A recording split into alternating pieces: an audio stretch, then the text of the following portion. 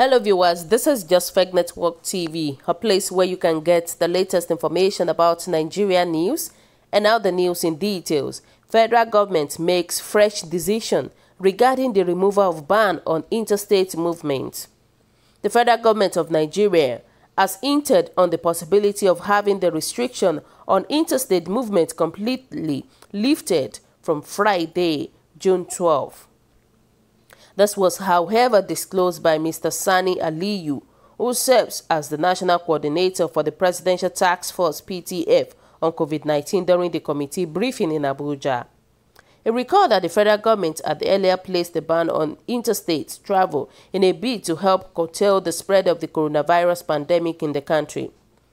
Although there has been so many reports of violations of the ban on interstate movement with security agencies tasked with the responsibility of enforcing the order reportedly encouraging the, vi the violations.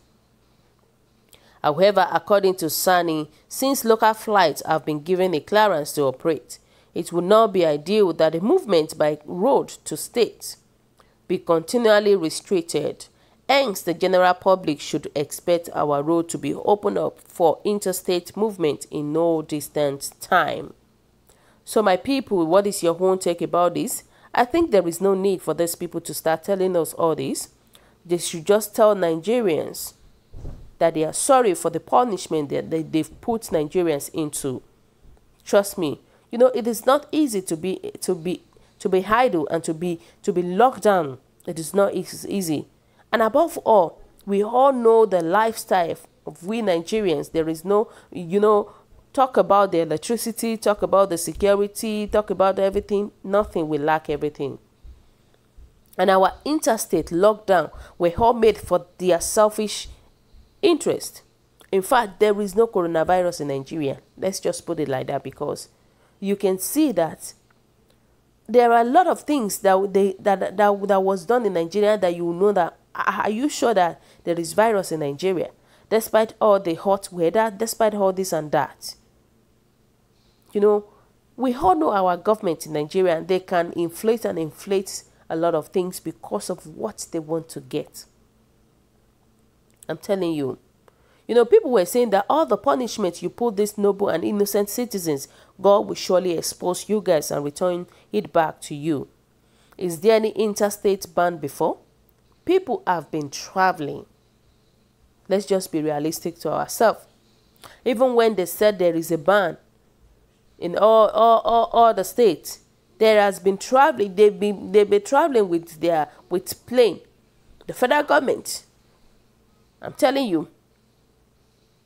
And I wish, I wish Nigeria could come together and pray for God to give us man after our own heart. Man that will lead Nigeria out of this mess. People were saying that expect everybody that makes here to go straight to their point. But reverse in the case, reverse in the case, someone called President senseless. How do we feel when someone says the same thing to other people? It says some people are, are how can you be abusing a whole president of the federation that happens to be to be age mate with your grandfather? You lack home training. I'm sure you will be beating your parents at home. You know, so why some set of people are still like supporting the president about what is going on. Government with no direction, another person will still come up with another story tomorrow.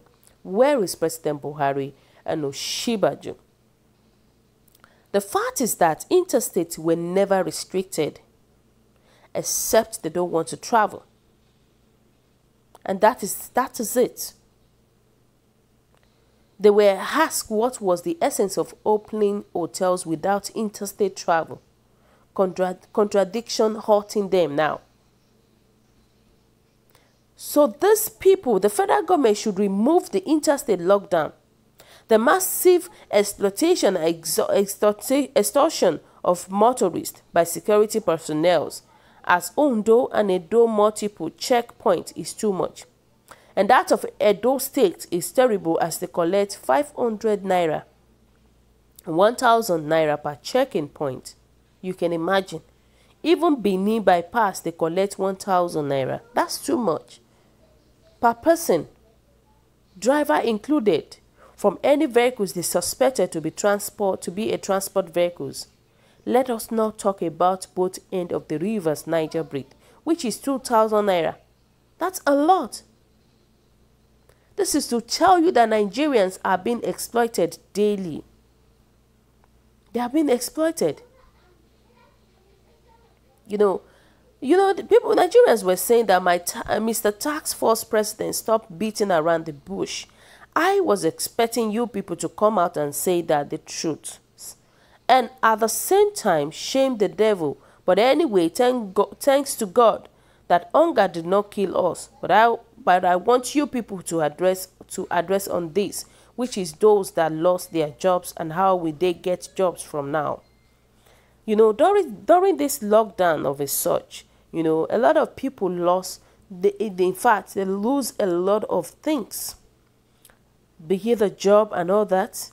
A lot of people, they lose a lot of things. But my question is that how would they be able to regain those things back? How would they be able to regain it back? And that is it. That is the issue about it. You know, people were saying that by the interstate movement, restriction so far is a mere theory.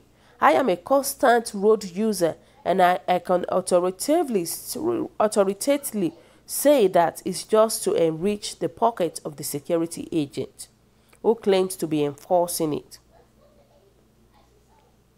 This is a cruel decision by the federal government unless the government is not honest to its citizens on the reality of the coronavirus, it is too early to waive restrictions on local flights and interstate movement. Maybe the government is economical with the truth of coronavirus in Nigeria. Definitely, they are. Definitely, the government is inflating the number of cases in Nigeria. Definitely, definitely, this is the, exactly what is going on. Whether we like it or not. A lot of things is wrong in our government, in this Nigerian system. Because sincerely, Nigeria lacks empathic leaders. Because they know once they open here flight ban, the common Nigerian will revolt. Uh, have, we have to put Nigerians through so much. They have to put Nigeria through so much, through so much hardship for the pandemic would have been coped for now.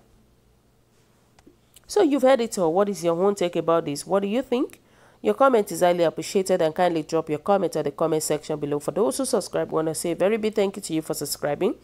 We say God bless you if you're yet to do so. Kindly press the subscription button below. And also please don't forget to press the notification button so that whenever we upload news, you will be the first person to watch our latest news. God bless you once again. Always stay safe. Don't forget to press the like button also. Bye.